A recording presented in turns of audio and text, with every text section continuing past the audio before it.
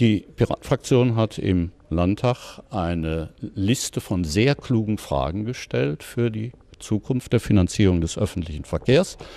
hat sinnvolle Experten ausgewählt und hat eine Menge von interessanten Antworten gekriegt, die deutlich machen, dass Nordrhein-Westfalen in der Finanzierung des öffentlichen Verkehrs im Moment stark benachteiligt ist, dass der Bund seine Hausaufgaben nicht macht, was die Rahmengesetzgebung angeht und dass